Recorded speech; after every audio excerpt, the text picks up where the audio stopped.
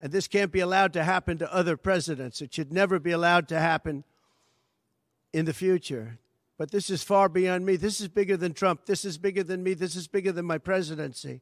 In other words, you could go into every single thing that I ever did. Was he a bad boy here? Was he a bad boy there?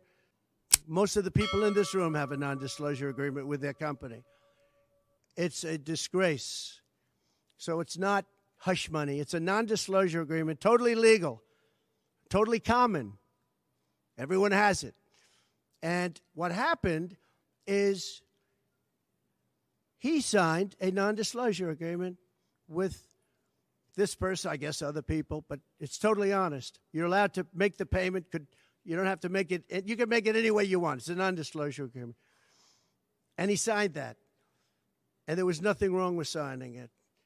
In fact, the lawyer in creating the NDA, because at that time he was a fully accredited lawyer, he wasn't a fixer.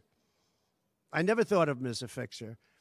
The media called him a fixer, or the prosecutors called him a fixer. He was a he was a lawyer and he was fairly good. Later on, I didn't like what he did. I didn't like, uh, for instance, I didn't like that when I became president, he went around and made deals with companies. When I heard that, he was gone. And this should have been a non case. And everybody said it was a non case, including Bragg. Bragg said, until I ran for office. And then they saw the polls. I was leading the Republicans, I was leading the Democrats, I was leading everybody. And all of a sudden, they brought it back. It's a very sad thing that's happening in our country. When they say falsifying business, that's a bad thing for me. I've never had that before.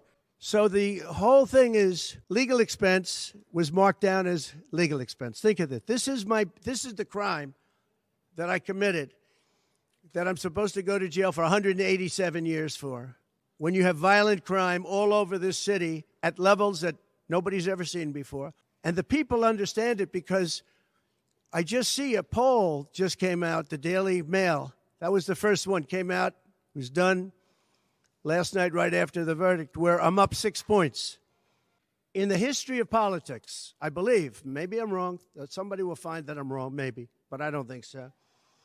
They raised with small money donors, meaning like $21, $42, $53, $38 a record $39 million in a, about a 10 hour period because the public understands and they understand what's, what's going on. This is a scam, there's a rigged trial. It shouldn't have been in that venue.